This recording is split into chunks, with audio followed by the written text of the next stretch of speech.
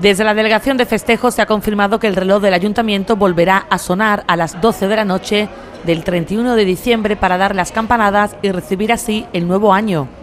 Este mismo miércoles se han estado realizando los trabajos de mantenimiento para que la noche más vieja del año no haya ningún fallo y puntualmente demos la bienvenida al 2017. Esta mañana se han terminado los trabajos de puesta a punto del reloj del ayuntamiento, asegurándose que no fallará la noche del 31 y que tampoco volverá a sufrir retrasos en mucho tiempo, siendo así fiable 100% la hora que dicte al menos durante los próximos 10 años. Con las campanadas se dará inicio a una fiesta promovida desde el consistorio en la misma plaza del ayuntamiento, a la que se invita a todo el pueblo de Marchena. La Concejalía de Festejos hará entrega de una bolsa de cotillón a todos los asistentes y una orquesta pondrá la nota musical para recibir el nuevo año. El consistorio ha mostrado su satisfacción por poder anunciar ya este evento una vez se han terminado los trabajos del relojero.